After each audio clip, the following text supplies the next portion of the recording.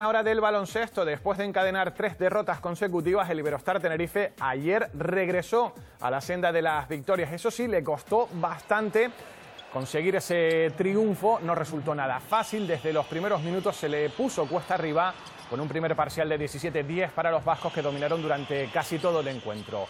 Todo apuntaba a una mañana plácida para los locales.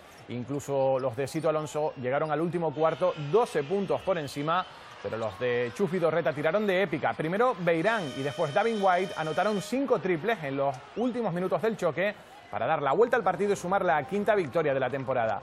Un bálsamo que permite a los aurinegros llegar muy motivados a su próxima cita ante el Barça. Ha sido un partido raro y nos sirve sobre todo para cambiar una tendencia de muchos finales igualados que habíamos perdido la última semana si no la metes, no ganas. Y hemos tenido la suerte de que David White pues, ha estado muy enchufado, que también se lo habíamos dicho, ¿no? que, tenía que tirar, que, que podíamos fallar, pero tenía que seguir tirando.